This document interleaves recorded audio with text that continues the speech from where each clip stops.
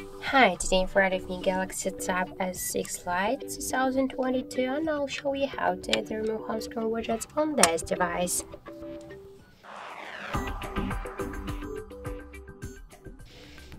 So first, just hold for a while the empty space on your home screen and then tap to the widgets icon.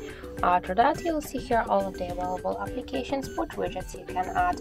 For example, let's add the reminder or the battery widget.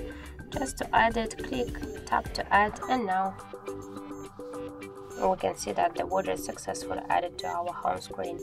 If you want to move the widget on the screen or between the screens or to create a new screen with the widget, you should just hold it and drag it.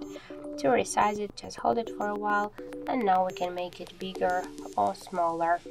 And just to remove it from the home screen, we should just hold it and tap the remove icon. So that's it, thank you for watching and if you find this video helpful, don't forget to leave a like, comment and to subscribe our channel.